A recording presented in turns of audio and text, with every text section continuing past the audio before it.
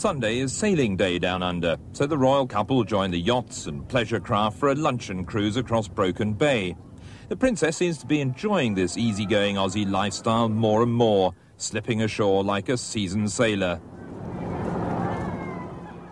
Down on Terrigal Beach, it was the big bicentennial surf carnival.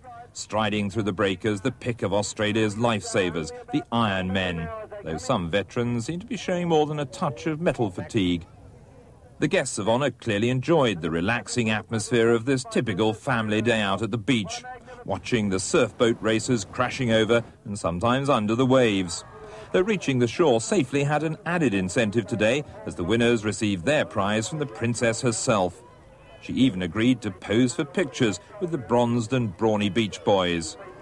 The dress was far more formal tonight as Sydney put on its fashion show of the year. Though as usual it was the princess's outfit, a new blue satin creation that was the biggest talking point among the world's top models and designers.